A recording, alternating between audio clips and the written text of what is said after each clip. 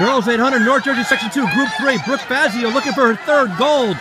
Won a 400 yesterday, anchored a 4x8 to victory, and here's Brooke Fazio with her third gold, and boom, look at the time, 210. Brooke Schaefer, another PR, and Di Marcello, fast race here. North Jersey Section 2, Group 4. I got 210.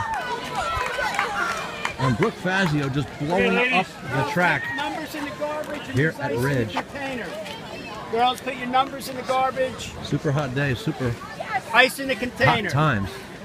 Wait for the official time of Brooke Fazio dropping a huge PR and getting her third gold medal of the meet. Congrats to Brooke. Just blowing up this track over the last couple days.